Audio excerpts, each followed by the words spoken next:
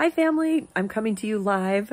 Well, I guess it's not live when you're watching it, but it's live when I'm recording this from Costa Rica, where I am on vacation, and I brought with me to read the most wonderful book that I want to recommend and that I also want to announce as the next selection in the Onward Book Club.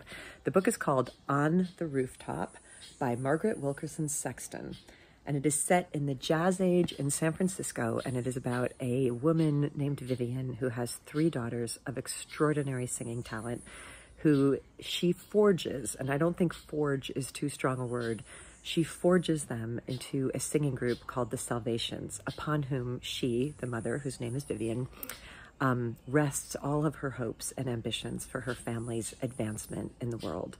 Um, it's a story about three young black women, um, the daughters in the Salvations, who each have to struggle to find their own way in the world, um, despite and with their mother's power. Um, it's about family, it's about music, it's about changing neighborhoods, it's about racism, it's about feminine power, um, it's about sisterhood, and I love it.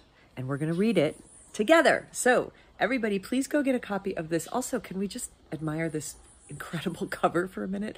On the Rooftop by Margaret Wilkerson Sexton. We're going to be discussing the book on the Onward Book Club on Monday, March 27th at 7 p.m. live on Instagram. And please do go to theonwardbookclub.com and look at all of the books that we have been reading. Um, invite your book clubs to diversify their reading lists. As always, I encourage you to buy the book through Elizabeth's of Akron, which is our partner, sister bookshop in this project of the Onward Book Club. And um, this is one of the best novels I've read in such a long time. It's fantastic. It's beautiful. You're going to love it. And I cannot wait to talk with Margaret Wilkerson Sexton about On the Rooftop, March 27th, 7 p.m. See you then. Bye.